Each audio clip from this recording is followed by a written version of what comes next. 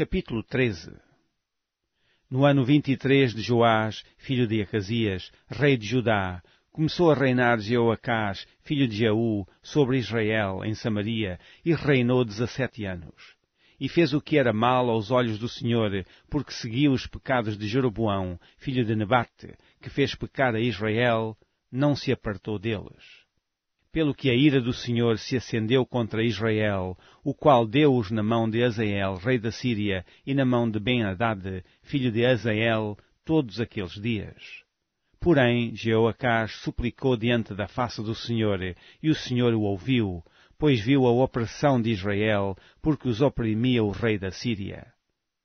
E o Senhor deu um Salvador a Israel, e os filhos de Israel saíram de debaixo das mãos dos Círios e habitaram nas suas tendas, como dantes.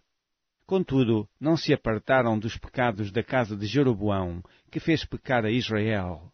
Porém andaram neles, e também o bosque ficou em pé em Samaria não deixou a Jeoacás mais povo, senão só cinquenta cavaleiros e dez carros e dez mil homens de pé, porquanto o rei da Síria os tinha destruído e os tinha feito como pó, trilhando-os.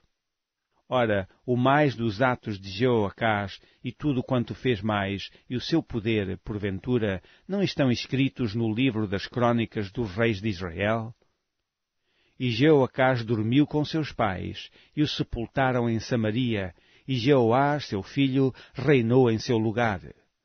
No ano trinta e sete de Joás, rei de Judá, começou a reinar Jeoás, filho de Jeoacás, sobre Israel em Samaria, e reinou dezesseis anos e fez o que era mal aos olhos do Senhor, não se apartou de nenhum dos pecados de Jeroboão, filho de Nebate, que fez pecar a Israel, porém andou neles.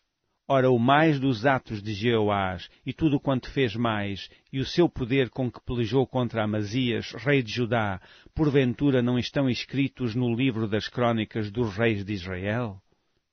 E Jeoás dormiu com seus pais, e Jeroboão se assentou no seu trono, e Jeoás foi sepultado em Samaria, junto aos reis de Israel.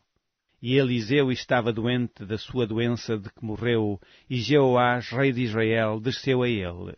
E chorou sobre o seu rosto e disse, Meu pai, meu pai, carros de Israel e seus cavaleiros. E Eliseu lhe disse, Toma um arco e flechas, e tomou um arco e flechas.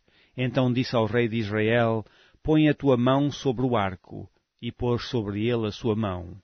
E Eliseu pôs as suas mãos sobre as mãos do rei, e disse, Abra a janela para o oriente, e abriu-a.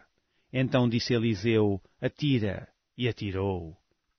E disse, a flecha do livramento do Senhor é a flecha do livramento contra os Círios, porque ferirás os ciros em Afeca até os consumir.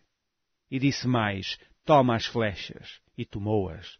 Então disse ao rei de Israel, fere a terra, e feriu-a três vezes e cessou.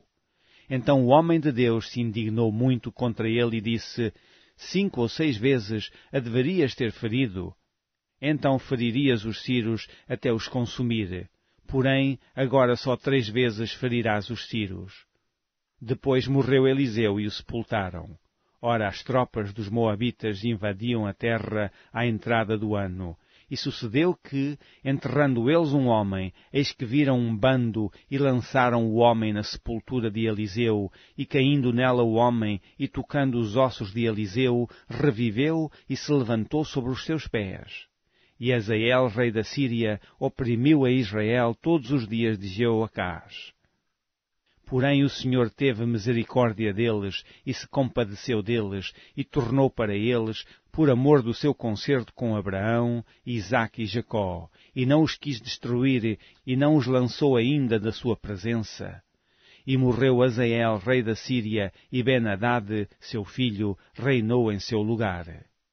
E Jeoás, filho de Joacás, tornou a tomar as cidades das mãos de Ben-Hadad, que este tinha tomado das mãos de Jeoacás, seu pai, na guerra.